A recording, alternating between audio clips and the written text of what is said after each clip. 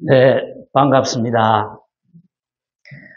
어, 특히 어, 우리 어, 기본교육 받으러 참 그 열과 성을 다해서 바쁘신데도 불구하고 저녁 늦게 이렇게까지 참석해 주셔서 감탄드립니다. 어, 제가 오늘 그 어, 받은 주제는 어, 제가 아무래도 이제 불광사 이제 다닌 지가 35년이 되다 보니까 그동안에 쭉 불광사의 어떤 그 신행 생활이라든지 혹은 불광사의 역사라든지 이런 것을 조금은 이제 그 안다는 그런 측면에서 어, 여러분들한테 불광사, 불광부패가 어떤 성격의 어떤 그 신앙을 추구하고 있고 어떤 믿음을 가지고 우리가 수행을 해야 되느냐 뭐 그런 점에 대해서 제가 말씀을 드리고자 합니다. 어, 이제 불광사 하면은 어, 이 불광사를 창건하신 광덕 큰 스님을 어, 우리가 빼놓을 수가 없습니다. 광덕 큰 스님께서 이 불광사를 창건하시고 지금까지 훌륭하게 예, 불광사를 갖고 오셨습니다. 이것이 광덕 스님 진명인데요. 굉장히 상호가 훌륭하시죠. 예? 굉장히 참 온화하고 그 다음에 참으로 그 우리가 보면은 스스로 존경심이 우러나는 그런 상호를 갖추었습니다. 아, 우리 뭐 주지 스님도 우리 지금 광백 스님의 그 어떤 그 상호에 못지않게 훌륭하십니다만은 우리 특히 광백 큰 스님은 그때 당시에 굉장히 많은 사람으로부터 어, 추앙을 받은 어, 그런 어, 큰 스님이었습니다. 그래서 광백 스님의 이제 그 어, 행장이라 그러는데요. 광백 스님의 그쭉 간단하게 소개만 해드리면은, 어, 광백 스님은 1927년생이니까, 어, 지금, 어, 만약에 생전에 계시면은 한 97세 뭐 이렇게 되시겠죠. 어, 이제 경기도 오산시에서 출생하셨고, 50년에 부산 법무사로 출가를 하셨습니다. 뭐, 그, 뭐, 여러 가지 이야기가 있지만, 시간 관계상, 아, 뭐, 설명을 하겠습니다. 왜 50년에 부산에 내려가서 출가를 하시느냐, 뭐 여러 가지 이제 뭐 상황이 있습니다만은, 어, 뭐 시간 관계상 어, 생략을 하고요. 그 다음에 출가해서 56년 동안, 56년에 이제 구족계를 수기했습니다. 뭐 여러분 아시다시피 스님이 출가하면은 먼저 행자 생활을 거쳐서 사미 생활을 거쳐서 나중에 그러니까 그 비구계를 이렇게 받게 되겠는데요.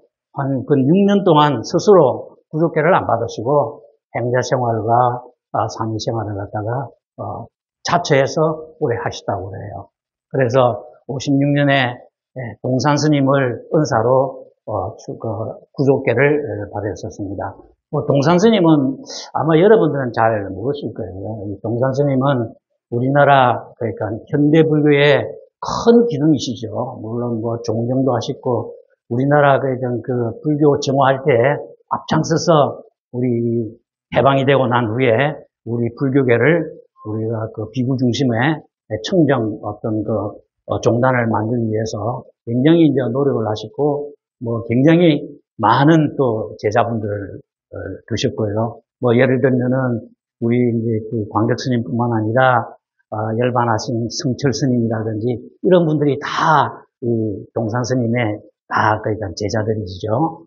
이제 동산 스님을 은사로 이제 구족계를 갖다가 이제 받으시고, 그 다음에 요 동안에 또 60, 56년에서 63년 동안에 수행을 굉장히 많이 하셨어요. 그래서, 어, 보면은 27일간, 37, 21일 동안 잠을 안 자셨어요. 그 20일 동안 한숨도 안 자신 거죠. 3주 동안에. 그래서 스님 스스로 그런 말씀을 하셨어요. 나는 잠은 조복을 받았다. 조복이라는 거는 이제 항복을 받는다 이런 뜻인데 어? 잠에 대해서는 자기는 완전히 조복을 받았다. 그래서 그때 당시에 등력을 했다. 뭐 이런 그, 그 이야기가 전해오고 있습니다. 그 다음에 이제 큰 하나의 그거는 이 1963년에 대학생 불교 연합회, 요새 대불련이라고 약칭을 하죠. 우리 광덕 스님이 처음으로 만드셨어요. 만드셔 가지고 이 이제 이그 대불륜을 갖다가 본부를 만들어야 되는데 본부를 갖다 아무래도 서울에 만들어야 되다 보니까 그때 봉원사를 갖다가 좀 써야 되겠다. 봉원사에 대불륜의 본부를 만들어야 되겠다 해서 이 봉원사에 올려주셔가지고 65년부터 60주년까지 봉원사 주지를 겸하면서 어, 대불륜을 갖다가 키우는 그런 분입니다. 그리고 이제 1974년에 이제 이게 불광회를 장립을 했고 74년에 월광 불관을 장관했고 그다음에 82년에 이제 불광사를 이제, 이제 절을 갖다가 지었죠. 여기에 대해서는 어, 다음에 우리가 불광사 역사에 대해서 말씀을 드리면서 조금 다시 말씀을 드리기로 하고요. 그 다음에 또 1977년부터 95년까지는 이 동국하원이라는 거는 동국대학교뿐만 아니라 산하의 부속 고등학교 뭐 굉장히 큰 게 있어요. 그리고 이제 동국대학교가 물론 이제 제일 큰 기관이 되겠습니다만은 그것에 이제 학원 이사를 갖다가 오랫동안 하셔가지고 우리가 종립학교의 발전에 큰 기여를 또 하셨습니다. 어, 그리고 1999년 2월 27일 날, 어, 학년 73세. 조금 좀 이르죠. 요새 보면은. 원래 평소에 에, 스님이 지병이 계셨어요. 그러나 지병이 계신데도 불구하고 스님의 몸을 생각하지 않아요. 모든 것을 정신, 그러니까 몸에 에너지는 요만큼밖에 없는데 일을 하시는 것보다 훨씬 더 많이 하시니까 몸이 견디낼 수가 없어. 예? 그래서 좀 빠르게 이제 좀 이렇게 이제 열반을 하셨고, 그다음에 범납은 이제 50세다 뭐 이런 이야기를 할 수 있겠습니다. 그 다음에 이제 우리 불광의 역사를 보면은, 예, 이제 불광의 역사 중에서 이제 74년 9월 1일 불광회를 창립했다 그러는데요. 그때 당시에 왕덕 큰 스님께서는 대각사, 종로의 대각사에 거처를 하고 있었어요. 그런데 대각사에 계시면서 그 부분에 이제 이 종로에 있다 보니까 그 부분에 소위 그 이제 셀러리맨, 그러니까 이제 그 직장인들 혹은 뭐 관공서에 있는 분들 이런 분들이 이 어떤 이제 불교에 관심이 있는 분이 광덕 스님을 이제 찾아뵙고 이야기를 듣고 뭐 하다 보니까 그 광덕 스님의 어떤 그 설법이나 그 말씀에 굉장히 사람들이 이제 그가 빠져들었다 그럴까요? 그래가지고 사람들이 이제 점점 점점 모이기 시작했어요. 그래서 먼저 불광회라는 걸 갖다가 이제 한 그때 당시 한 50명, 100명 정도 이렇게 불광회를 갖다가 이제 회를 조직했어요. 하면서 먼저 이제 광덕 큰 스님께서는 이제 포교를 해야 되는데 먼저 문서 포교를 해야 되겠다. 그래서 불광 잡지라는 걸 갖다가 창간을 했어요. 만들었어요. 그 불광 아, 잡지를 보면은 여기서 이게 좀 잘 안 보이는데요. 어, 여기 아마 이게 스크린이 좀 안 좋은 것 같은데 그래서 여기 보면은 여기 이제 이 어, 여기 이제 불광 이렇게 되어 있습니다. 불광. 그게 이제 74년 11월에 창간호를 했죠. 그래서 어, 이것은 책 사이즈가 어, 그렇게 크지를 않아요. 그런데 지금 그 내용을 보면은 여기 보면은 여기 한마음 헌장도 있고 진리의 현장이다 반야신경 강의 이 보면은 정말 지금 봐도 말이죠. 굉장히 훌륭한 문장과 아주 그 광백 스님의 그 사상이 깃들어져 있는 훌륭한 거라는 걸 갖다가 지금 저, 저도 가끔 또 봅니다. 보면은 굉장히 훌륭한 잡지입니다. 어? 근데 그렇게 이제 그걸 했다가 이제, 예, 이제 불광을 이제 그 불광고를 이제 창건을 했죠. 창건을 했죠. 그 다음에 이렇게 이제 창간이 되고 나니까 이 이제 광덕 스님의 법문을 들어오는 사람이 막 굉장히 많이 몰려 드는 거예요. 어? 굉장히 많이 몰려 들어가지고 언제는 이제 법회를 정식으로 좀 해야 되겠다. 그래서 이제 그 아무래도 직장인들이기 때문에 목요일 날 저녁, 목요일 날 저녁에 법회를 개최를 했어요. 또 대각회, 대각사에서. 근데 대각사에 굉장히 뭐 가보신 분은 알겠습니다만은 그 법당이 굉장히 좁아요. 그러다 보니까 나중에 사람이 많이 모여가지고 이 법당이 모자라니까 그 법당 앞마당까지 꽉꽉 사람이 차는 거야. 나중에 일주면 그냥 찼어 그냥 사람이 많아가지고 뭐 그러니까 이제 큰 스님이 이 법문에 이 모든 사람이 정말 신선하게 이제 이렇게 들은 거죠. 그러다 보니까 아 이게 안 되겠다 이거. 그래서 이제 대학사는 도저히 이제 이, 그, 밀려드는 사람을 수용도 못 하겠고 그래서 저 어떤 경우에는 다른 절에 좀큰 절에 가서 이제 빌려서 또 뭐 하기도 가끔 하기도 하고 뭐 그랬대요. 그래서 이건 안 되겠다. 이래서 우리가 그러면 참다운 우리가 이 전법 도량을 만들어야 되겠다. 해서 이제 현재 그 이제 신도분들이 불광회 회원들이죠. 이제 십시일반해서 이제 이 잠실에다가 땅을 타서 이제 불광사를 이제 짓기 시작했죠. 그래서 이것이 이제 이 정토식이라 그래서 요, 요 보면은 이것이 이제 불광사 신축부지라고 되어 있죠. 요 산 여기 저 뒤쪽에 아주 큰 그 산이 있는데 그런데 그 산 앞에 이제 지금 이것이 이제 이게 지금 현재 불광사 부지입니다. 이제 부지고 그 다음에 여기 이제 정토식이라는 건 아마 이제 건물을 갖다 짓기 전에 아마 이제 어, 땅을 정화시킨다. 뭐 그런 행사가 있는 모양이에요. 저는 뭐 잘 모르겠습니다만 여기 보시면은 여기 여기 아마 이게 소금이 아닌지 모르겠습니다. 뭐 정도할 때 소금 안 뿌립니까 보통? 그래서 아마 이게 여기 이제 스님이 이제 지금 이제 소금을 뿌리죠. 그 뒤에 여기 보면은 여기 이제 요령을 흔들고 여기 마이크를 가면서 이제 연부를 하면서 따라오시는 분이 요 분이 지용 스님입니다. 지용 스님은 이제 전, 전 해주시고 우리 포기 원장도 하시고, 어? 우리 이 법주 생활을, 어째 회주 생활, 회주 생활을 한 10여 년 이상 하셨죠. 우리 불광사 창건을, 중창을 하신 분이 이제 지용 스님인데, 이제 스님 뒤에 따라서 이제 여행하면서 따라가는 뭐 그런 것이 이제 이 정토스입니다. 어? 그래서 이제 이게 이제 이 상냥식 정전입니다.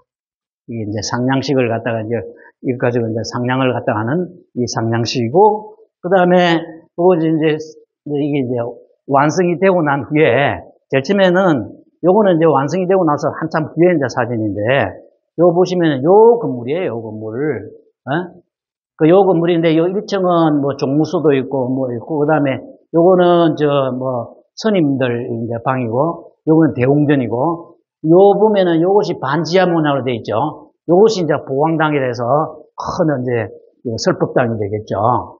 그러니까 요걸 갖다가 이제 지으시고, 그 후에, 먼저 요걸 이제 지으시고, 그 후에, 요 불광 유치원이라고 돼 있죠. 요거는 현대식 건물 문학으로 이렇게 지었는데, 요 불광 유치원을 해서 이게 합쳤습니다. 네, 서로 다 통하였던 이렇게 합치고, 그 다음에 나중에는 이제 요 건물을 갖다 또 이제 지으셔가지고, 요게 뭐 1층에는 뭐, 그 뭐 차도 마시고 많고, 2층에는 불광 출판사라고 있습니다. 그 불광 출판사가 여기에 있는, 뭐, 요 상태가 우리가 중창불사 하기 전에 아, 이제 이 정경이 이제 되겠습니다.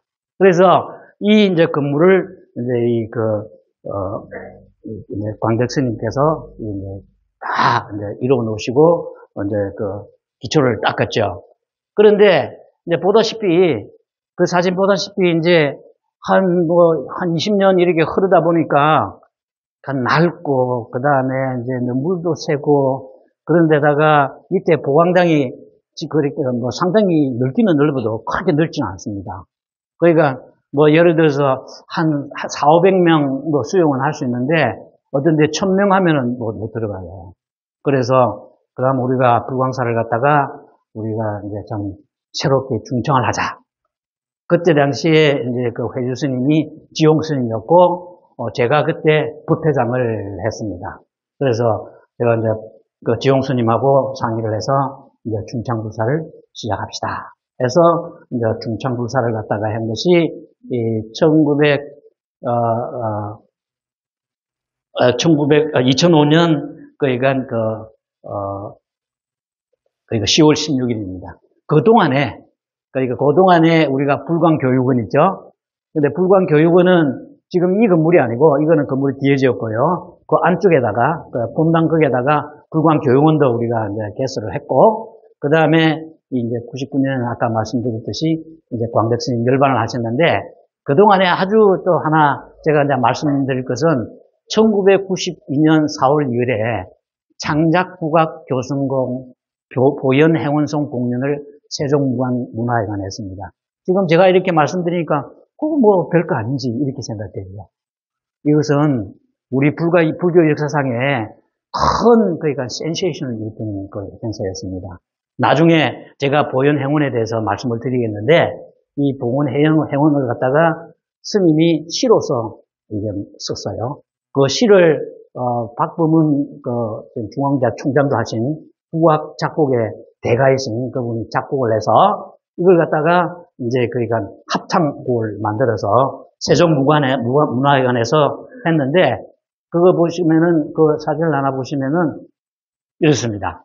세종문화회관에서요. 이거 보시면은 이 뭐 굉장합니다. 예?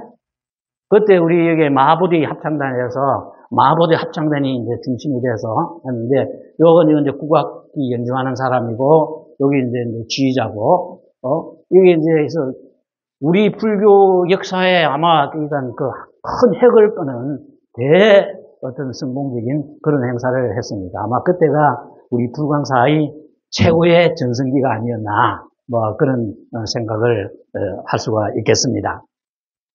그래서 어, 아까도 말씀을 드렸습니다만은 이제 이런 어떤 그 과정을 거쳐서 나중에 이제 우리가 중창불 중창불사를 선포를 하고 난 후에 건 8년에 이상 걸쳐서 우리가 새로운 건물을 이제 되었습니다. 왜냐하면 맨 땅에다가 짓는 것은 쉬운데 있는 것을 없애면 대체 또 법당이 필요하지 않아요. 어? 그거 있는 걸 없애고 그 위에 짓는 것은 정말 힘든 그 행사였습니다. 그러나 그런 많은 어려움을 겪고 우리가 2013년 10월 13일에 불광사 신축 분당 어, 중공 법회를 했습니다.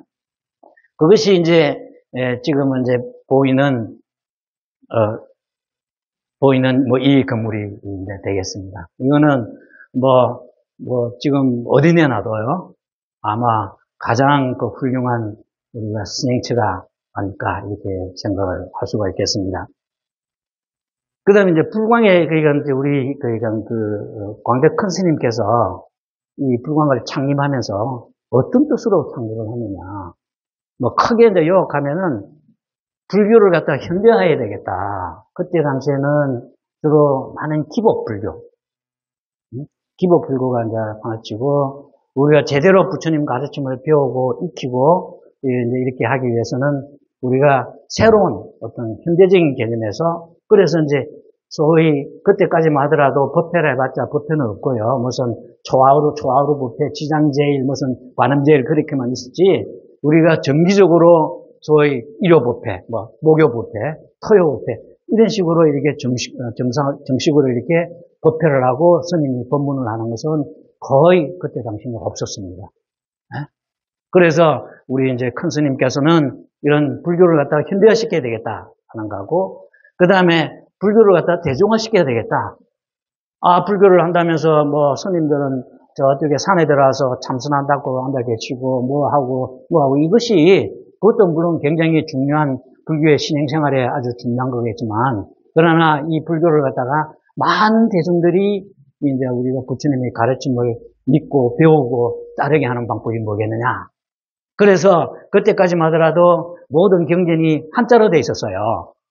그래서 우리 큰 스님이 아마 거의 우리나라에서는 물론 그 앞에 용성 대조사님이 한글 번역 작업을 했습니다만은 그래도 출판을 하면서 보급을 하기 시작한 것은 우리 광덕 큰 스님이 모든 경을 갖다가 다 한글로 다 번역을 했습니다.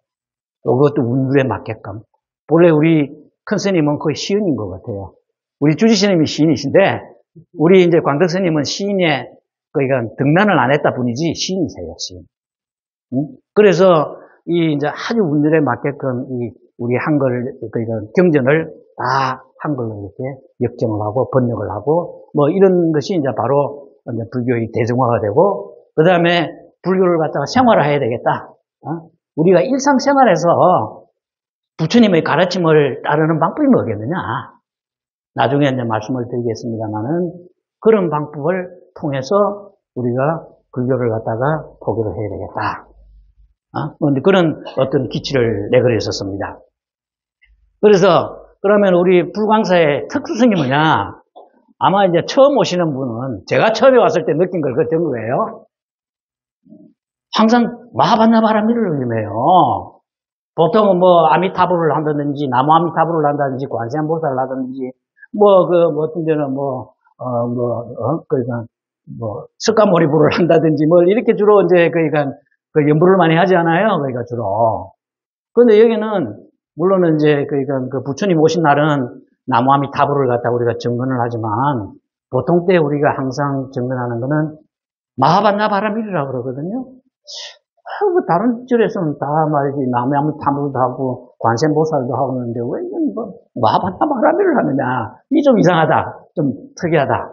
어? 두 번째는 뭐냐면은 우리가 그 법회 끝나고 나면은 항상 뭐냐면은 보현 행문으로 보리루리를 한단 말이죠.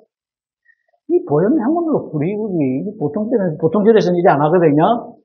어? 그 다음에 우리가 또 하나 이제 우리가 법, 법회하고 나면은 반드시 전법오수라는 걸 제창을 합니다. 그 다음에 여기는 불광 신도들은 우리가 형제라고 해요. 우리 보통 뭐 도반이라 하기도 하고 법부라고 하기도 하고 그러잖아요. 본래 우리 강백 스님은 법부라는 말도 안 썼어요. 아들 형제 여러분, 불광 형제 여러분. 어? 그러면 이 뜻이 좀 처음에 좀 이상하다. 뭐 사교 걷기도 하고 조금 불교 정통 조계종이 아닌 것 같기도 하다. 이런 느낌을 들 수 있잖아요. 그런데 이 지금 네 개가 이 이 네 개가 엄청난 의미와 엄청난 어떤 그, 어, 그러니까 그, 광덕 스님의 해안에 의해서 만들어진 거예요. 그래서 지금부터 각각에 대해서 제가 조금 설명을 드려야 되겠다. 그런데 이걸 제가 설명을 드리려고 그러니까, 아, 이 이제 그니까 항상 제가 이제 본래 제가 그, 그, 그 어, 학교에서 이제 강의를 오랫동안 했기 때문에 어디든지 강의를 하면은 그 사람, 그 청중들의 눈높이를 갖다가 알아가지고 거기에 맞춰서 해야 되거든요. 어? 그래서 저도 이번에 보니까 눈높이를 맞춰 여기 이제 지금 처음 입문하시는 분들이 대부분이라고 이렇게 생각을 하면은 내가 이걸 갖다가 해서 무슨 의미가 있을까 없을까 이런 생각도 좀 들었습니다.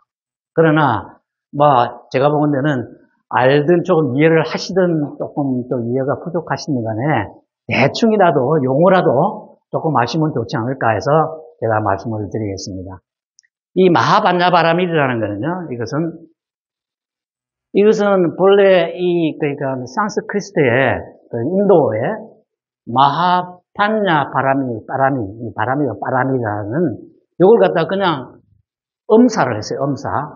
그래서 중국 사람이 바람하면은 마하반야 바람이 이야기해요. 근데 우리나라 사람은 마하반야 바람이라 그러거든요.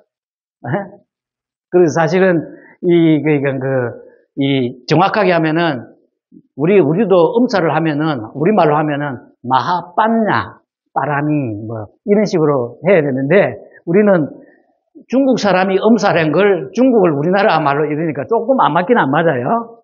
그러나, 뭐, 이제 우리가 익숙해졌으니까, 마하반나 바람이라고 그러는데, 그래서 이것은, 뭐냐면 이걸 음사를 했지, 뜻이 하나도 없는 말입니다. 그래서 옛날에 그러니까 그 어, 구마라스비 그다음에 현장법사 이런 분들이 이 그러니까 이 범어나 이걸 갖다가 이 번역을 할 때 번역을 안 하는 몇 가지 원칙이 있어요. 도저히 번역을 할 수 없는 거. 그러니까 거기서 이제 이게 오종 불번이라 그러는데 어떤 비밀고라는 것은 뭐 예를 들어서 주문 같은 게 있잖아요. 주문.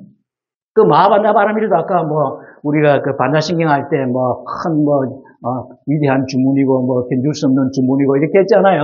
뭐 주문이죠. 뭐 예를 들어서 주문 이런 건 안 하고요.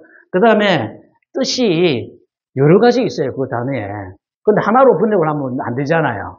그런 경우도 번역을 안 하고 원어 그대로 써요. 그냥. 어? 그 다음에 차 무방고 이 이제 중국 지방에 뭐 나무 같은 게 예를 들어서요. 인도에는 있는데 중국에는 없잖아요. 나무가. 그거 어떻게 번역할 거예요?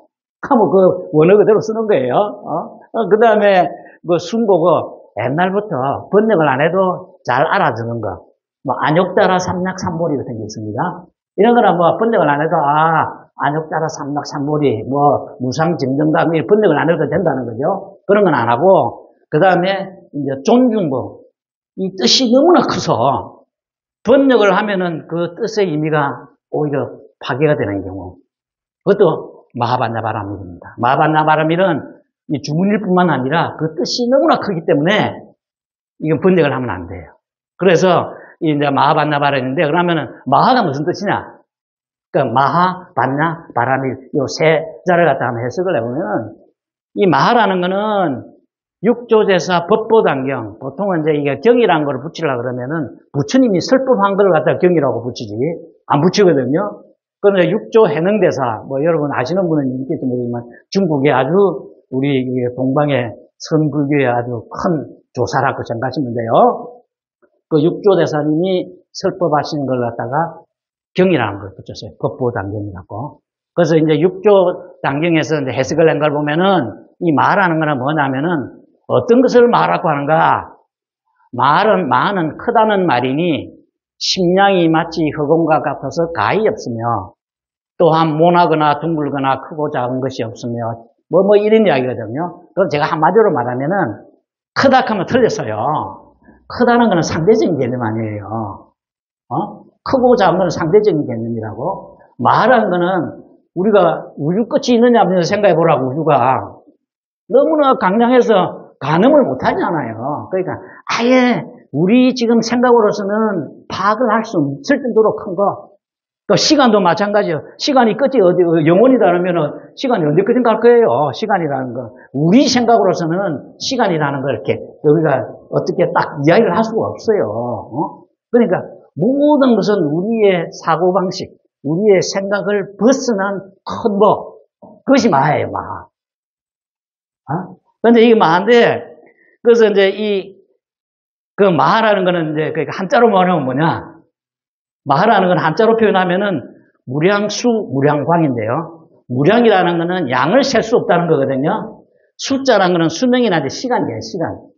시간이 길고 이런 걸 우리가 헤아릴 수가 없다. 시간 어떻게 헤아릴 거야, 이거. 먼 옛날 아주 먼 미래, 우리 가늠을 못 하잖아요. 이거 뭐 끝이 없으니까 무량하다는 거죠. 그 다음에 무량광이라는 건 빛인데 빛이는 공간을 이야기해요, 공간. 우리가 우주 공간을 갖다가 우리가 가늠을 못 하잖아요, 아예. 그래서 마하라는 거는 뭐냐면은 무량수, 무량광이에요. 마하라는 거는. 근데 무량수, 무량광인데 그러면 무량수, 무량광은 우리가 무량수, 무량광을 갖다가 대변하는 무량수, 무량광을 나타내는 부처님이 있어요. 어떤 부처님이십니까? 혹시 부석사의 무량수전, 그 무량수전이라는 것은 무량수 부처님을 모시는 정각이라는 말이거든요. 그 무량수, 무량광을 대표하는 부처님이 아미타불입니다. 아미타불. 어? 아미타불이거든요. 아미타불이라고요. 그런데 이 아미타불인데 이 글자가 많이 깨지네. 제, 제 컴퓨터에서 들어가. 그럼 아미타불을 한번 해석을 해보자고요. 아자 있잖아. 아. 아자는 법신 비로자나불입니다. 아마 또 여러분들은 이 비로자나불 뭐 하면 또좀 어, 처음 듣는 용어 뭐 또 이러는데 어?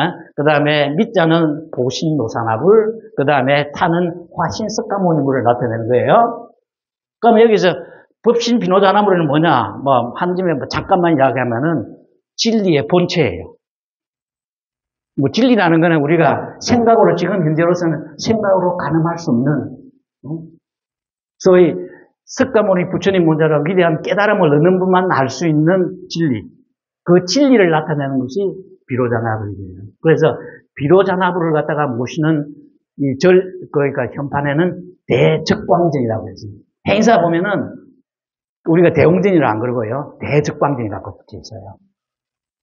석가모니 부처님을 붙인 데는 우리가 대웅전이라고 붙이죠. 어? 그래서 이런 이게 법신, 보신, 화신을 아미타불 하면은 법신, 보신, 화신을 다 나타내는데요, 그냥. 그 나무 아미타불 하면 뭐 처음이자 끝이에요, 그냥. 어? 근데 이 이제 그 이런 그, 그, 그, 그 해석은 그러니까 이 우리 근세 그러니까 그 현대 아주 큰 스님은 금타 스님이 금망심론이라는 그 저술을 했어요. 그게 보면은 아주 자세히 설명이 잘 나와 있습니다. 어, 요거 여기 그뭐 카페 들어가서도 여러분들이 그 할 수가 있습니다. 그래서 그 반나는 뭐냐? 이제 마하는 되었습니다. 그죠? 그 마하하면 끝난 거야, 사실은. 뭐. 아, 이 진리야, 이거 뭐. 우리가 생각할 수 있는 엄청난 어떤 진리를 나타내는 것이 마한데, 그 반나는 뭐냐? 반나는 이제 이거 이제 굳이 이제 번역을 하다 보니까 별별 무슨 거기 다 나오죠. 지혜라고 번역을 하기도 하고, 그냥 해라고 하기도 하고, 무별, 무분별지라고 하기도 하고, 그냥, 그냥 하기는 뭐하니까 반나지라고 하기도 하고, 통짜지라고 하기도 하고, 뭐 이렇거든요. 그런데, 이 반나라는 걸 갖다 그러면, 그 구체적으로 그러면은, 반나는 뭘 나타내는 거냐? 뭘 반나라 하느냐? 하면은, 초기 불교에서는요, 무상고 무아를 체득하면은 그걸 반나라고 했어요. 또 무상이라는 거는 뭐 여러분들이 혹시 이 기초교육에서 들으시겠습니다만은 재행무상이라고 삼법이 있는 거죠. 모든 우리가 생각뿐만 아니라 모든 사물이고 이 대상 이것이 다 무상하지 영원한 것이 없다. 뭐 이런 것도 다 오래되면 다 쓰고 뭐 해요. 시간적으로 잘라 그뭐 하냐 그뿐만 없이 모든 것이 다 이 그 어떤 지수 아픔으로 다 돌아가게 돼 있거든요. 그러니까 모든 것이 무상하다. 뭐, 뭐 그런 이야기고, 그 다음에, 그러니까 일체격계보다 모든 것은 참 괴로움이다. 응? 그 다음에 재범무하다. 모든 것은 그걸 주재하는 어떤 알아는 주체가 없다. 이런 이야기거든요. 그래서 이 무아라는 데에서 이게 뭐 무상, 뭐 무아라는 데에서 이제 부처님이 그러니까 그, 그러니까 이제 암경에 무아경이라는 데 보면은 참 재미나는 이야기를 많이 했어요. 무하다. 내가 없다. 어, 내가 다 있는데 이건 내 손이고 내 눈이고 내가 눈을 보고 있는데 왜 내가 없다 그러느냐? 부처님이 뭐라고 말씀하시냐면 이렇게 했거든요. 만약에 어떤 임금이 있다. 혹은 뭐 어떤 그 뭐 노예를 부리는 어떤 주인이 있다고 생각합시다. 그러면은 어떤 주인이 노예를 부리려 그러면은 그렇죠. 주인이 노예를 마음대로 불릴 수 있어. 일을 하면 일해야 되고, 뭐 하라면 자락하면 자라야 되고, 마음대로 이렇게 할 수 있어야 그 주인을 행사하는 거지. 뭐라고 하는데도 말 안 들으면 그 주인을 행사할 수 없는 거 아닙니까? 주인이 아니죠. 니뭐 이래, 그럼 뭐, 내가 안 하겠다 그러면 그, 그, 그게 노예 주인이 아니죠. 그런데, 우리가 보면은 우리 몸이라는, 그 우리 아라는 건, 내라는 거는, 아까도 우리가 그 반달신비가 나옵니다. 온으로 돼 있거든, 온. 색성, 아, 그러니까 색수상행식. 색이라는 거는 몸뚱이라고요. 우리 몸뚱이라는 것도 우리 마음대로 할 수 없어요. 내보고, 아, 좀, 키가 좀 더 커져. 됩니까? 안 듣잖아. 늙지 마. 내 말이, 내, 내, 내 말을 안 들어. 흰머리 나지 마. 아무래도 내 말을 안 듣는 거야. 그럼 이 몸은 내가 마음대로 할 수 없으니까 이 몸의 주인이 내가 아니지. 그렇잖아요. 수, 수는 느낌이거든요. 어떤 거는 뭐 뜨거워. 뜨겁게 느끼는 것보다가 작게 느껴봐. 뜨거운 걸 맞으면서 작게 느껴봐라면 작게 느껴집니까? 우리 정신적인 느낌도 우리 마음대로 할 수 있는 게 아니야. 어? 어떤 거, 이거 뭐, 수, 상, 행, 행치가 어두운데, 내가 뭘 하고 싶어. 되기, 그러니까. 하고 싶은데, 야, 그 하고 싶은 마음 없애. 그럼 마음이 없어집니까? 우리 마음 마음대로 못해요. 그러니까 내가 우리 그 몸도 그렇고 내 마음도 마음대로 할 수가 없는데 어떻게 이 이것의 주인이라고 내가 이야기할 수 있느냐는 거지. 주인은 없어요. 주인은 주인이라는 거 없다고 이걸 자기 자기 주인이라 그러지만도 이 몸이나 생각이나 이런 거는 자기 주인이 아니라니까 주인은 엉뚱돼 있어요. 그러니까 말을 안 듣는데 어떻게 이게 주인이야? 내 생각도 그렇고 내 몸도 그렇고 그렇거든요. 그렇게 이야기했다고요. 이런 걸 갖다가 체득을 하면은 이 단나치가 이렇게 이야기하는 거라고요. 그 다음에 또 하나는 또 이제 뒤에 이제 이건 그 이제 중도라는 게 나오는데요. 이 중도라는 거는 이, 이 서, 이제 인도에서 이제 쭉 이제 석가모니 부처님께서 가섭존자부터 해가 쭉 14대 이렇게 14대가 용수보살이에요, 용수보살. 28대가 이제 보리달마가 중국으로 넘어왔는데 그 아주 그니까 용수보살이라면 뭐 부처님 못지않는 훌륭한 보살인데 이분이 중도를 갖다가 썼대요. 그러니까 이제 중론이라는 책은 책이 있는데요. 이거는 철학책인데 세계 철학자들이 가장 많이 보는 책. 이 불교뿐만 아니라 세계 철학자들이 가장 잘 많이 보는 책이 중론이라는 책이에요. 저도 그걸 몇 분이나 읽고 그러는데 정말 훌륭한 분이에요. 그분의 이제 이해하면은 이 중도를 갖다가 중도를 갖다가 터득하면은 이 이제 반야가 이제 그러니까 지혜가 이제 완성되는 거다. 그래서 이 중도라는 거는 뭐냐면은 이분, 이분법적인 사고를 극복을 해라. 왜냐면 생멸, 우리가 생멸, 그러니까 죽고 없어지는 거 우리가 다 보고 있잖아요. 이러면 안 돼. 예를 들어서 우리가 뭐 생사, 우리 생사라는 것도 보면요. 아, 지금 코로 숨을 쉬고 있으니까 살죠. 그 다음에 숨 끊어지면 죽죠. 그랬죠? 그런데 우리 인식이 코로 숨을 쉬면, 쉬면 산다는 생각을 없애버리면은 코를 숨을 쉬고 이게 움직인다는 거에 이것이 사는 것이다라는 인식만 없애버리면은 사도 없어져요. 생이 있기 때문에 사가 반대로 있는 거예요. 항상. 예? 그 다음에 여기 보면은 뭐 다른 것도 많죠. 뭐, 그러니까 뭐 장단도 있고 고저, 장단, 뭐 시비 뭐 많잖아요. 그렇죠? 그러니까 우리는 모든 것이 하여튼 상대적인 개념으로 지금 우리가 생각을 하고 있는데 이게 상대적인. 이게 이제 문제라. 이 상대적인 개념 때문에 우리가 고가 생겨요, 고가. 그래서 상대적인 개념 중에서 여기 보면은 이게 저 자타. 그러니까 여기서 보면은 선악 같은 거는 우리가 이해를 할 수 있잖아요. 선도 없다, 악도 없다, 뭐 이러지만도, 아, 뭐, 뭐, 그럴 수 있네. 왜냐면 뭐 옛날에는 뭐 남녀 7세 부동석 이렇게 했잖아요. 일곱 살만 되면은 남녀가 같이 앉으면 안 된다 그랬잖아요. 그게 선이라고 그랬다고 옛날에는. 요새는 뭐냐? 그럼 무슨 미친 소리지. 그, 그, 그, 요새 이야기하면은. 그랬잖아요. 요새는 남녀 이렇게 잘 어울려 댕겨 좋지. 그랬잖아요. 그러니까 선과 악이라는 판단 개념도 시간에 따라서 다 바뀌잖아요. 뭐 그러니까 아이 선, 선과 악은 절대적인 게 아니야. 어? 선도 없고 악도 없다. 뭐 이렇게 우리가 머리로서 어느 정도 해, 그 이해가 되잖아요. 그렇죠. 그 다음에 여기서 뭐 예를 들어서 뭐 고주도 높고 낮은 것도 상대적이지. 뭐 아무리 큰 거 있어도 뭐 예를 들어서 키가 2m, 2m 있는 사람부터 뭐, 어, 크다 그러죠? 그러나 그 사람도 2m 10이 되면 그거 작다 하죠. 그거 그럼 작, 작잖아요. 그러니까 이게 상대적이기 때문에 원래 이게 고와 저가 없는 거야. 이렇게 우리가 머릿속으로 잘 이해를 할 수가 있잖아요. 그런데 제일 하기 힘든 것이 뭐면 이게 이제 자타라, 이 자타. 나하고 남이라. 아무리 내가 없다고 생각을 하고 그래도 안 돼. 나는 내고 상대는 상대인 거야. 어? 그럼 주객이에요, 주객. 이게 어? 주인하고 객체야. 내가 있고 그럼 나는 그 보는 이 대상들이라 이제. 그러면 이제 이 주객이 되면은 이게 이분법적이 하면은 논리적으로 틀려요. 그걸 내가 한번 간단하게 한번 이야기를 해보면은 옛날에 어떤 그러니까 큰 스님이 자기 이제 시자한테 이 저쪽에 이제 골방, 저쪽에 이제 골방이 있는데, 골방에 누가 있는지 뭐가 있는지 이제 알아보고 오너라 이랬단 말이죠. 그래서 시자가 네 하면서 이제 그 골방에 이제 가서 이제 문을 열고 들어가서 불을 이제 탁 켜니까 아무것도 없거든. 사람도 없고 뭐 아무 물건도 없고 없단 말이죠. 그래서 이제 다시 이제 불을 끄고 문을 닫고 들어와서 스님한테 큰 스님한테 스님 골방에 마이가 골방에 들어가 보니까 아무도, 아무것도 없었다. 그러니까. 아, 스님이 막, 막 주장 가가지고 막 그냥 허리 갈기는 거야. 왜 허리 갈기겠습니까? 뭐가 잘못됐는데 없는 걸 없다 그랬는데. 그 말은 뭐냐면 그 틀린 이유가 봐요. 만약에 그 방에 그 이제 시자 스님이 들어가서 불을 켰습니다. 그러죠? 그럼 그 방은 빈 방이 아니에요. 그 사람 있는 거 아니에요.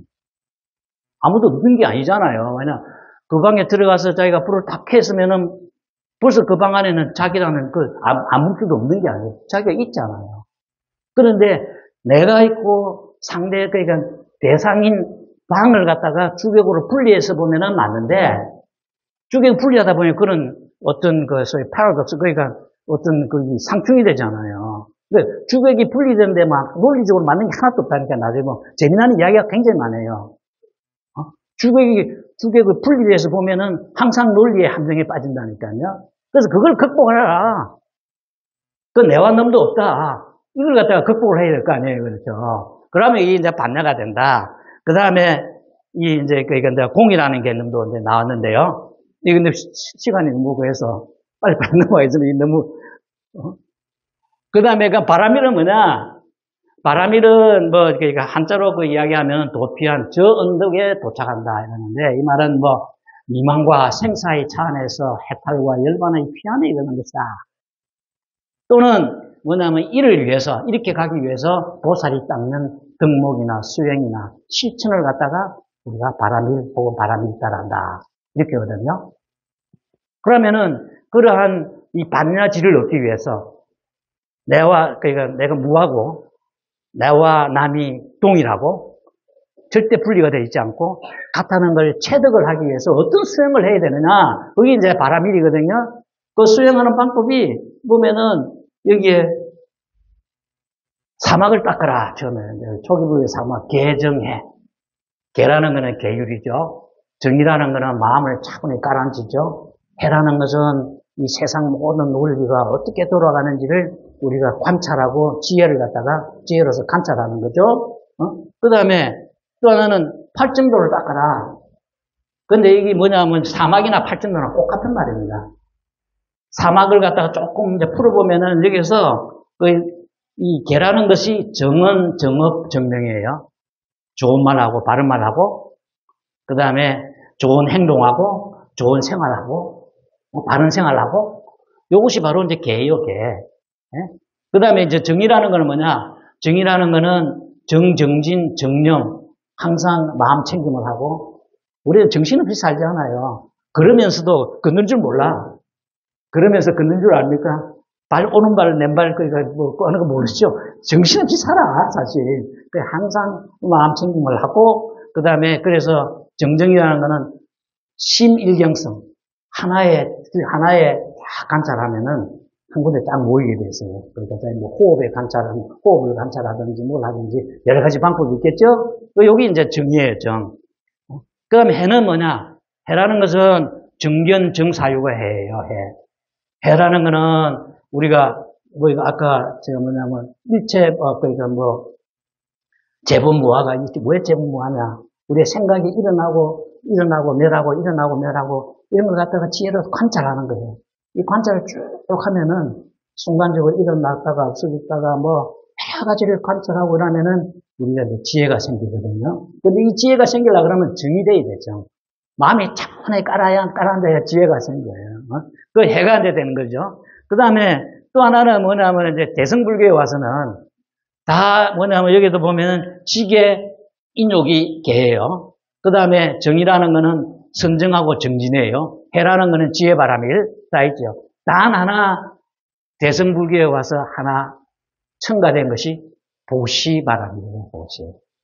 그러니까 이 초기 불교하고 대성 불교하고 보면은 여기서 우리가 수행하는 방법에 하나 차이가 대성 불교에서는 보시 바람이를 굉장히 중요시하는 거죠.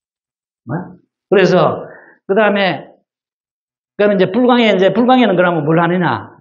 불광의 이제 수행 방법 뭐냐? 아까 뭐 개정에 뭐 팔정도 무슨 저 그러니까 뭐 어, 육바람일 이거 닦아라 그러는데 우리 불광의 그런 바람일 행은 어떻게 하는 거냐? 우리 불광사에서는 뭐 개정에 닦고 물론 그것도 중요하죠. 그걸 해야 되겠죠. 그러나 우리 광덕 스님께서는 불광사에서의 바람일 행, 즉 반야를 갖다가 우리가 체득하기 위해서 행해야 될 행은 바람일 행은 뭐냐? 이것은 보현행원이라고 되어 있습니다. 그러면 지금부터 왜 그 보현행원이 뭔데 보현행원을 하면은 깨달음을 얻을 수가 있느냐? 그걸 제가 지금 잠깐 아무리 시간이 없어도 설명을 해야 될 것 같아요. 네? 그래서 보현행원에 대해서 제가 이제 말씀을 드리겠습니다. 그래서 이제 보현행원이라는 것은 여기에 대감광불 화엄경 부사의 해탈경계 보현행원 품이라는 것이 이 화엄경에 이게 품이라는 거는요. 우리가 책이 보면은 제 1장, 2장, 3장, 3장, 챕터 1, 챕터 2, 이게 1장, 2장, 그걸 갖다가 이제 불교에서 품이라고 이야기해요. 그러니까 이제 화엄경에 여러 품이 있는데, 챕터가 있는데, 그 중에 하나가 이게 보현행원품인데, 이 보면 대자라는 것은 이게 마하다고 사실은. 방자라는 것은 이거는 반듯하다는 거예요. 우리가 행동이 방증하다 그러잖아요. 그 네모 반듯하다는 뜻이거든요. 그러니까 아주 위대하고 어? 반듯한 이 이제 이 그러니까 광명으로 이루어진 부처님의 세계를 이 꽃으로서 장엄하는 경이다. 그 경 중에서 이게 중요해요. 부사이. 부사이라는 게 아까 뭐 마야 마. 우리가 생각으로서 도달할 수 없는 경계. 그 부사이라 그래 부사이. 부사이 생각으로서는 도저히 우리가 지금 우리가 3차원적인 3차원적인 어? 시간 공간에서는 도저히 이해를 할 수 없는 그 경계가 불사인데 그 불사의 해탈 경계, 이루는 것이 보현 행운품이에요. 보현 행운을 하면은 부사의 해탈 경계에 이른다 이런 말 아니겠습니까? 그죠? 그래서 이 부사의 이제 여기서 이제 보현 행운품을 보면은 10개의 분이라는 거는 하나의 섹션이에요. 10개 이제 그 달라고 할때 10개의 그 내용으로 되어 있어요. 그래서 뭐 일일이 다른 거는 그렇고 예경부는 모든 부처님께 예경하고 공경하는 거, 찬양부는 부처님을 찬양하는 거, 공양부는 널리 공양하는 거, 참회부는 업장을 참회하는 것, 수의부는 남이 지던 공덕을 기뻐하는 것, 청법부는 설법해 주기를 청하는 것, 청주부는 뭐 이렇게 쭉 돼 있잖아요. 요 책이 보현 해문품 강의를 광덕 스님이 지어서 불광 출판사에서 출판했는데요. 이 스테디셀러예요. 지금까지 38시간, 38채가 그 프린트가 되어 있고 5만 4천 건이 팔렸어요. 그러니까 이 그러니까 불경으로서 이렇게 많이 팔리는 건 없어요. 어? 그래서 이게 굉장히 이, 이, 그, 이 광백 스님이 이 그 보현 해운품 강의를 갖다가 정말 아주 잘 이렇게 그 해설을 하고 설명을 해놨어요. 그 중에서 제가 이제 이게 다른 거는 다 그 빼고 공양분에 대해서만 잠깐 이제 말씀을 드리겠습니다. 공양분. 이제 공양분은 거기 보면 이렇게 나와 있어요. 그러니까 이 원문을 보면 이게 천남자여 모든 공양 가운데는 법공양이 가장 어떤 대나니 이른바 부처님 말씀대로 수행하는 공양이며 중생들을 이롭게 하는 공양이며 중생을 섭수하는 공양이며 중생의 보를 대신받는 공양이며 성근을 부지런히 닦는 공양이며 보살압을 버리지 않는 공양이며 부리심을 내지 않는 공양이다. 이거든요. 근데 이 공양이라는 것이 보시예요, 보시. 이 공양이라는 거는 음식을 공양한다. 옛날에는 제가 하도 못 사니까 생명을 살리려면 음식을 주어야 되잖아요. 그래서 이제 공양인데 이것은 보시예요, 보시. 근데 보시라는 거는 뭐냐? 남한테, 나가 아닌 남한테 특히 무수상 보시는 아무런 의도나 뜻이 없이 남한테 그냥 도와주는 거거든요. 그냥 불쌍하면 무조건 도와주는 거예요. 그것이 왜 중요하냐 하면은 이렇습니다. 만약에 여러분들이 자식이 만약에 돈이 없으면은 뭐 못 살아서 그 하면은 돈 주면서 뭐 아깝다고 생각합니까? 안 하죠. 그렇잖아요. 오히려 자기가 굶더라도 자식한테 그러니까 뭐 주려고 그러죠? 그렇잖아요. 그건 왜 그럴까요? 자식이라는 거는 자기와 같은 몸이다. 자기의 분신이다. 자기와 같다. 그러니까 자식하고 적어도 자기하고는 자타가 성립이 안 된 거예요. 아상이 없는 거예요. 어? 그러니까 이걸 갖다 이제 이게 자꾸 이제 이 보시를 자꾸 하게 되면은 처음엔 아깝죠. 처음에는 와, 나도 뭐 살기 힘든데 뭐래 뭐 이렇게 저래도 내라 그러고 어디도 내라 그러고 이러니까 그거 하잖아요. 좀 아까운 데 들잖아요. 그러나 그럼에도 불구하고 자기가 처음에는 고시하기가 싫더라도 고시할 자꾸 습관을 불려봤어요. 그래 되면 뭐가 되는지 알아요? 거꾸로 뭔가 하면 자타를 갖다가 다 깨우치고 난 후에 자타가 없어서 하면 자동적으로 보셔야 돼요. 남하고 자, 저 사람이 아프면 내가 아픈 거랑 같은데 저 사람이 못 사는 내가 못 사는 것 같은데 어? 아상이 없어지면 그래 될 거 아니에요. 그러니까 어? 그러면 도와주지 않아요. 그러나 연습을 하면은 거꾸로 자타가 없어지는 경지에 점점 도달해요. 보시라는 거는 너한테 주면서 아깝다는 것보다 너한테 자꾸 보면은 어떤 마음의 변화가 있냐면은 내와 남과 구분이 점점 없어지는 경계로 가게 돼 있는 거예요. 그러니까 이 자식을 갖다 모든 다른 사람도 자식과 같이 생각해 보라니까. 자식과 같이 내가 하나의 분신이요, 내가 같은 목적이라고만 되면은 여러분들은 부처님의 경지에 오른 거예요. 그 모든 것이 이제 세상의 모든 세상이 다야. 다 자기고야. 남과 낙이 없는데 세상 모든 것이 자기 것이 뭐, 뭐, 뭐, 그게 뭐가 있습니까? 응? 그래서 이 이제, 이 이제 공양을 갖다가 하라는 건데, 특히 이제 무수상 공양을 해야 돼요. 그러니까 누굴 주면서 상을 내면 안 돼. 누구 주고 나서 말이야, 하고 나서, 아, 내가 저 사람 못 사는데 많이 도와줘서 이런 생각을 가지면은 나중에 그 사람이 조금 섭섭한가 하면 내가 옛날에 도와주는데 지가 나한테 이럴 수가 있어? 이렇게 한번 벌써 그거는 돌을 떼는 게 오히려 더 자기를 갖다가 아주 그러니까 나쁜 상태로 더 만드는 상태가 된다니까. 그러니까 생각 없이 이제 보시를 하라는 건데, 그 보시 중에서도 뭐가 제일 이제 중요하냐? 법보시라, 법보시. 법공량이라고 그랬죠. 그 법공량은 뭐냐? 광주 스님이 딱 그 개설을 하세요. 법공량은 곧 전법행위다. 이 전법이라는 거는 뭐냐 하면, 있죠. 내가 부처님 가르침을 보니까 너무 좋아. 아, 여러분 생각해보세요. 아주 맛있는 게 있으면은 자기 아들한테 주고 싶으면 안 주고 싶습니까? 그렇죠. 왜냐면 그 사람이 자기가 나, 나, 남이 아니라고 생각하기 때문에 남한테는 또 안 주지. 그러나 남이라도 자꾸 이거 전법을 해. 그러니까 아, 이거 너무 부처님의 가르침이 너무 좋아. 어? 그래서 다른 사람한테 좀 가르쳐 주고 싶어. 이거 보면 너무 행복하고 좋은데 그렇게 자꾸 연습을 하면은 나중에 자타가 없어진다니까. 예? 그러니까 이 전법행이 제일 최고예요. 그러니까 우리가 이제 뭐 건강경 여러분 아직 안 배워서 그렇지만 건강경 건강경에도 여기도 나옵니다. 여기 이 그러니까 이 공에도 여기 뒤에 저, 저, 안 풀어놨는데 이런 그러니까 법 공량은 다른 공량보다도 100배, 100배, 1000배, 뭐 천억 배보다도 더 수승하다고 이렇게 나와 있어요. 이 이제 이 보현 해운품에도 내 그러니까 원문에는 그걸 제가 생략하고 안 가져왔는데 그만큼 이 법공량이 굉장히 수승하고 법공량은 바로 뭐냐? 전법행위다, 이 전법행. 그럼 전법행위 하려고 그러면 어떻게 해야 되냐? 여러분이 부처님이 가르침이 좋은 걸 갖다가 알아야 안 됩니까? 그러니까. 공부를 좀 해야 돼. 부처님 공부를 하기 너무 좋아. 그래서 불광에서 자꾸 나와가지고 스님 말씀 듣고 뭐 해가지고 그 이거 보니까 하기 너무 좋아. 너무 좋으면은 뭐냐? 자기만 가지고 있으면 안 돼, 이거. 자기 아들한테도 해갖고, 야, 이 좋은 걸 네가 좀 배워봐. 뭐 자기 남편한테도 그, 그 배워가지고 와야 돼, 그러니까. 그래서 전법행을 하면서 자기 남편도 안 되고 자기 애도 안 되면서 그 무슨 전법이에요. 그 불광사 다는 거 필요 없어, 그 뭐. 불광사는 뭐냐?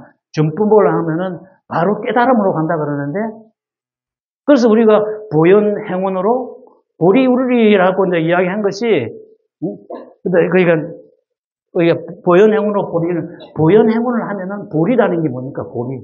깨달음이에요, 깨달음. 깨달음을 완성하지. 그 보현행운을 하면은 깨달음을 한다니까.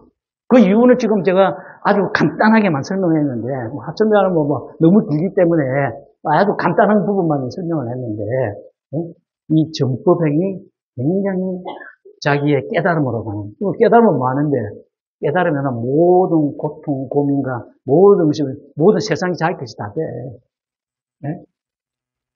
그래서 우리가 이제 이, 이, 전법을 갖다가 해야 되겠다. 어?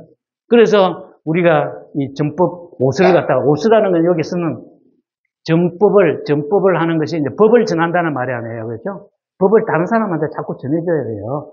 그걸 하는 다섯 가지의 맹세. 숫자는 맹세, 맹세한다는 거거든요. 맹세하는 거. 그래서 여기서 보면 정법으로 받은 믿음을 삼겠습니다. 받은 믿음이란 뭐냐? 정법을 하면은 이것이 깨달음에 가는 길이다. 이런 믿음을 가져야 돼요. 권도 스님이 뭐 구구절절하게 잘 설명을 해놨거든요. 정법이다는 게 아니다. 이게 정법이 바로 깨달음에 가는 척도입니다. 그런 믿음을 가지셔야 하는 거지. 어? 그 다음에 정법으로 정정진을 삼겠습니다. 우리가 어떤 걸 하든지 간에 열심히 해야 되잖아요. 그렇죠? 어? 불경 공부도 열심히 해야 되고, 뭐, 참선도 열심히 해야 되고, 뭐 하는데, 이 정법이 굉장히, 그러니까 그 정진일을 갖다가 그 하는 데서 중요하다. 그 다음에 정법으로 무상공덕을 삼겠습니다. 정법으로 최상의 보온을 삼겠습니다. 정법으로 정토를 성취하겠습니다. 그 정토를 성취하면 이제 완전히 모든 세상을 갖다가 우리가 어, 극락 정토 만들 수 있다. 뭐 이런 이야기가 되지 않겠습니까? 그렇죠? 어, 그래서, 어, 이 우리가 이거 보면은 여기 우리 불강사는 이거 보입니까? 전법 도량이에요. 다른 절하고 다르다니까. 다른 사람 뭐 전법 하면은 뭐 기독교에서 뭐 만날 하나님 이시오 그런 차원이 아니에요. 우리는 어? 정말 이 부처님의 가르침을 갖다가 모든 사람한테 가르치는 그 마음 자세가 바로 깨달음으로 가는 척경이다. 뭐 그런 이야기가 됩니다. 그래서 우리 불광사는 정법 도량이기 때문에 여러분들이 이 교육을 끝마치고 나서도 우리 불광사에 여러 어, 친척들, 친구들, 혹은 큰 가족부터 먼저 이렇게 와서 우리 불교의 수승한 가르침을, 부처님의 수승한 가르침을 이제 받아서 다 행복한 생활을 어, 누렸으면 하는 그런 어, 바람입니다. 대단히 감사합니다. 마바나바람이